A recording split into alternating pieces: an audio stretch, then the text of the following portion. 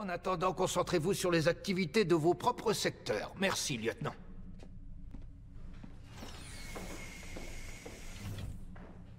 Vous avez deux secteurs à superviser. Blévin, lui, en gère six. Je concède qu'il est un peu engoncé dans les traditions et les méthodes de ce bureau et de ses membres. Ce n'est sans doute pas toujours facile de collaborer avec lui, mais lui, il rend ses rapports en temps et en heure. Alors que vous, non. Et pourtant, vous perdez un temps précieux avec cette affaire.